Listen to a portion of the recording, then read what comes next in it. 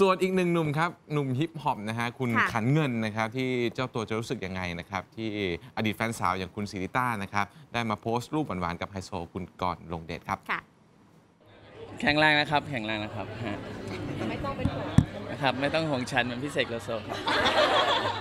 ยืนยันว่าหัวใจยัง strong ดีอยู่ค่ะ หนุ่มฮิปฮอปขันเงินเนื้อนวลโอเคที่แม้จะเพิ่งแชร์ภาพอดีตหวานใจศรีริต้าเจนเซ่นถือช่อดอกไม้เมื่อครั้งฉลองวาเลนไทน์กัน 2 คนทาง Facebook พร้อมข้อความสุดซึ้ง wish her the best หรือแปลเป็นไทยว่าขอให้เธอเจอสิ่งที่ดีที่สุด แต่งานนี้ก็ไม่มีเศร้าค่ะ พร้อมทั้งยังอวยพรผ่านสื่อ ขอให้สาวศรีริต้ามีความสุขกับรักครั้งใหม่ กับเจ้าพ่อ KPN กรณ์ ณรงค์เดชหลังทั้งคู่ลงรูปเปิดตัวว่ากำลังศึกษากันในวันวาเลนไทน์ที่ผ่านมาค่ะ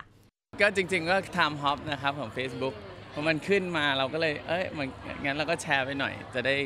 เหมือนแชร์ความรู้สึกนิดหนึ่งอยากให้เขามีความสุข เขาได้บอกกล่าวผมมาพักหนึ่งแล้วครับบอกกล่าวว่าจะไปเที่ยวอยู่หรือว่าว่าว่าใช่เขาก็เขาก็บอกว่าเขาเอ่อก็เริ่มเดทแล้วนะอะไรเงี้ยเขาก็เล่าให้ฟังครับ เราก็บอกครับก็อวยพรบอกว่า ก็ขอให้มีความสุขแล้วก็หวังว่าทุกอย่างจะ work out เพราะว่ามันก็ relationship มันก็ไม่ใช่ว่า เริ่มแล้วมันก็จะนะครับมันก็ต้องศึกษากันไป ตอนนี้ก็คุยน้อยลงครับ ก็ก็ให้เขาให้เขาศึกษาอะไรของเขาดีกว่าครับฮะไม่อยากจะไปไปไปกวนอะไรเขามากครับ